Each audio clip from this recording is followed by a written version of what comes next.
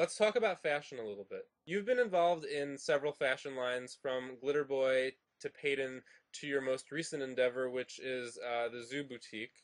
Yes. And you've even collaborated with jewelry designers like Tarina Tarantino for uh, Tokyo Yes. Hardcore.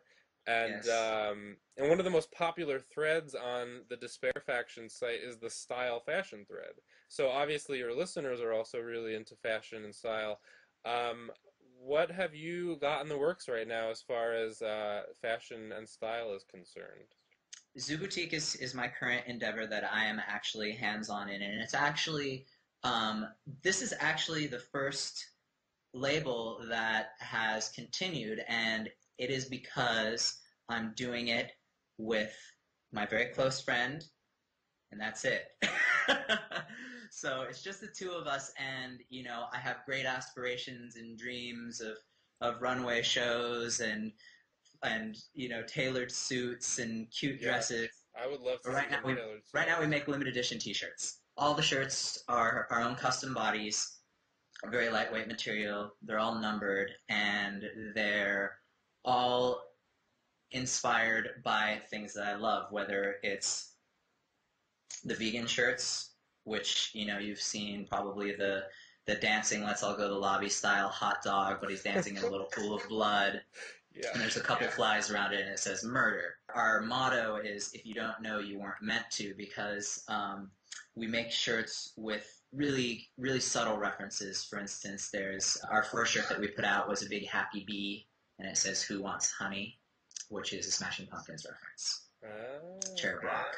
So it's that kind of thing, especially in a time when you know you've got so many people walking around in their Joy Division shirts or in their Ramones t-shirts, whereas you know 20 years ago or 10 years ago even that meant that you and that person had something in common, but now it means that you know they shop at Urban Outfitters or whatever. you know, Yeah. and not that that's a problem, but it just sends mixed messages. So these are the subtle t-shirts for the connoisseurs of both fashion and music at times. Um, we have some designs coming out that um, are are subtle, straight edge. Um, well, they're not. I mean, they're they're, they're subtle anti anti drug references. Um, actually, they're not even subtle, They're just and they anti-drug. are in fact they're anti drug.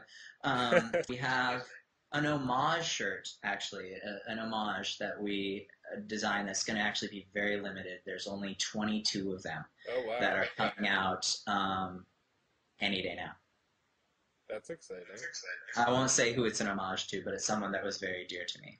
Oh my god. Oh my god. Yeah. The rumor mills have started already. Yes. Yes. I, I would I would love to make the perfect suit, the perfect vegan leather jackets, the perfect the perfect faux fur coat for the ladies or the men. I would love to work all the way to be the the humane Dior. That You that know? is a that is a great a great goal, and you know we don't have a male a menswear version of Stella McCartney, and it's un- I, I've it's heard rumors that Stella's going to do something for men. That would that would be my dream come true. How do you feel about people? Uh, you you were mentioning faux leather and faux fur. How do you feel about people who wear the real thing? Who people uh, who wear you know the the skins and body parts of animals?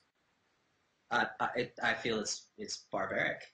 I, I it actually blows my mind. I mean, it's like a throwback. It's 2009. You know, it's not nine.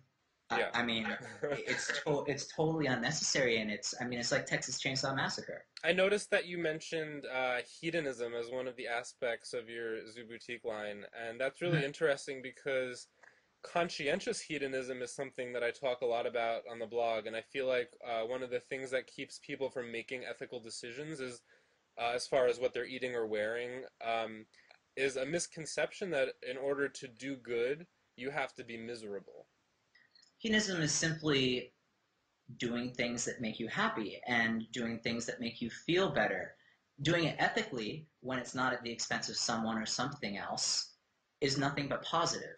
You know, I mean that just makes a happier world and a better world when you're when you're not when you're not hung up on these absolutely insane mores that are completely dated and obsolete hmm then you can you can be a, a greater fuller person Yeah. now, certainly, hedonism at the expense of the life of an innocent creature, such as a mink who go who gets murdered to wear your fur coat, you know, so that you have your fur coat, is is is totally unacceptable and selfish. With conscientious hedonism, you can derive more pleasure from knowing that your actions are, you know, giving back. That it's not just about taking for yourself. It's not about selfishness. It's about Right. it's about you know getting more out of giving back, and uh, that goes back to a lot of philosophies. And I think that it's something that can be incorporated into pop culture.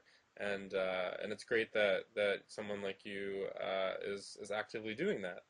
Um, Thank you. You've been all over the world. What is Yes. the most amazing meal you've ever eaten? Where was it? What restaurant was it? There are two. Okay. There's there are two restaurants in the world: Millennium in San Francisco hmm and Candle in in, in New York City. Those are very good choices. How about you? My favorites? Oh my God. I'm I'm a total I'm a total foodie. I, I I don't know if I could ever make that decision. I do love Candle 79 and I do love Millennium and I and I do love Have you been to Madeleine's Bistro in I love Tarzana? Madeline. Did you did you ever have like an aha moment when you like when you made the connection and you suddenly were like, wait a minute, you know, what am I doing?